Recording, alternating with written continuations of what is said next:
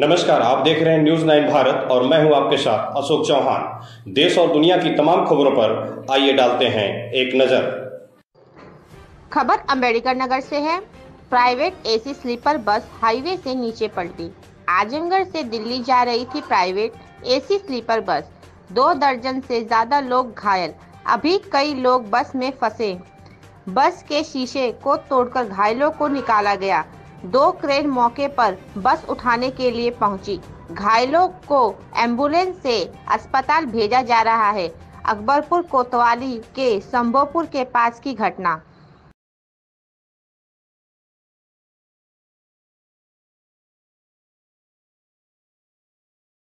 यहाँ खबरों का सिलसिला कभी नहीं थमता। सिर्फ़ और सिर्फ़ बने रहिए न्यूज़ नाइन भारत पर। अब चाहूँगा इजाज़त। नमस्कार।